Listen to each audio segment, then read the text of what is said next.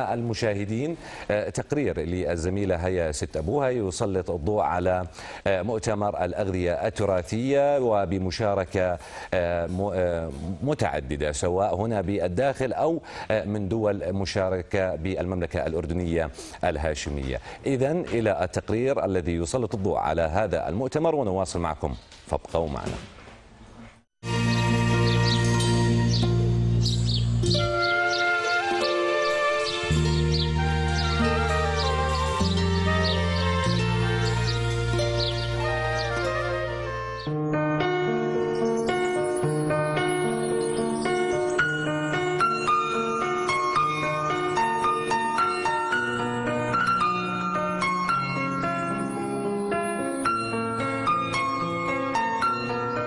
المؤتمر اليوم يعني بشكل بشكل هاله صحيه طبيعيه كويسه بالنسبة لموضوع الغذاء التراثي وللاطباق التراثية الخاصة تحديدا على مستوى الأردن وعلى مستوى الوطن العربي بغطيه من الجانب النظري والمعلوماتي وبنغطيناه من الجانب العملي.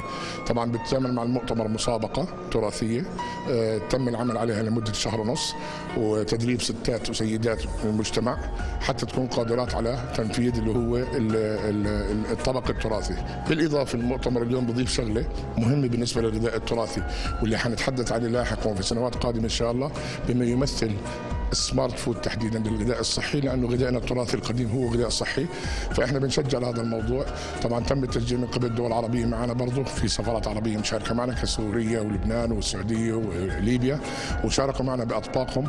والحمد لله الأمور مشرفة ويعني بدنا نجتهد مقدما حتى نخلص من موضوع الغذاء التقليدي حتى نرجع لأصولنا لأنه إحنا في نهاية الأمر كطهاه كمستشارين كخبيرين تغذية. المفروض نهتم بالطبق الأردني التراثي بالفعل.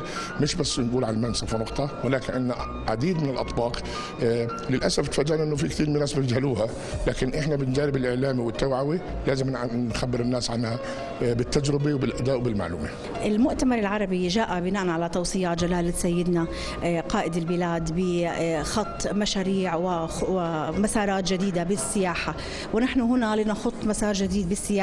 الغذائية اولا ثانيا العمل جاهدا على تنمية المدن والأرياف ثالثا التعاون مع سيدات المجتمع المحلي وتنميته وتنمية المجتمع المحلي بما يتعلق بالأغذية التراثية للمحافظة على الأجيال القادمة حتى يكونوا بصحة جيدة والمحافظة على الموروث الغذائي الدفين المليء بالكنوز الغذائية والقيمة الغذائية العالية. الآن لم تعد السياحة كما كانت سابقا تعتمد على نواحي تقليدية وإنما الآن السياحة هي سياحة متخصصة في مجالات معينة وقطاعات سياحية معينة كسياحة المغامرة، السياحة الدينية، سياحة الآثار وأيضا يوجد نوع جديد وحديث وهو سياحة الطعام والشراب.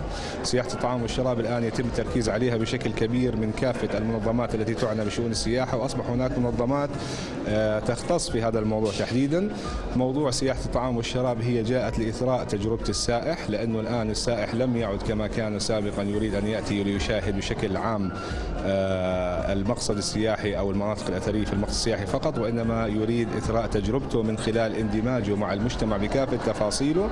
موضوع موضوع الأكل التراثي والمأكولات التي تعبر عن حضارة البلد وتراثه هي من أهم الأمور التي تجذب السائح. أقام هذا الاتحاد بشراكة مع شركة البوابة.